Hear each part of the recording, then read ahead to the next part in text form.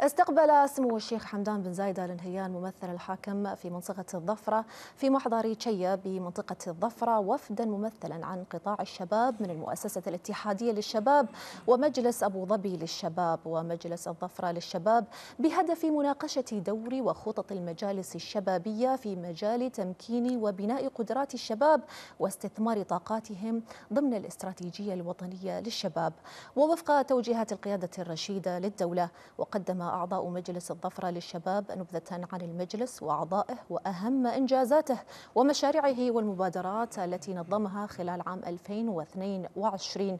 كما قدم الوفد لسموه ملخصا حول الصورة العامة لخطة عمل المجلس للعام الجاري 2023 والتي تهدف إلى تفعيل دور الشباب والاستماع إلى آرائهم وتسخير مواهبهم في سبيل خدمة الوطن وتمكينهم عبر إطلاق المبادرات الشبابية المختلفة التي تتماشى مع التوجهات الحكومية في عام الاستدامة.